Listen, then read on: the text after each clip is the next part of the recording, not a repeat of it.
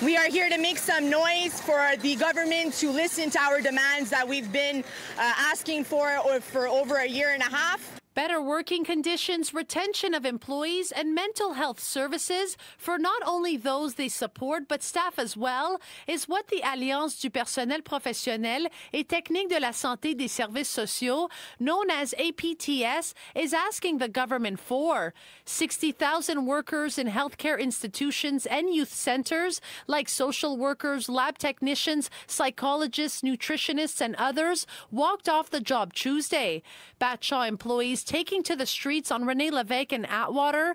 They say the Legault government isn't hearing them and hope walkouts force stalled negotiations to move forward. We're asking for um, an increase in pay, some increased paternity rules. We're asking for certain uh, incentives. We call them primes when you work in specific areas within the CIUSSS, so high-risk clientele or ICUs.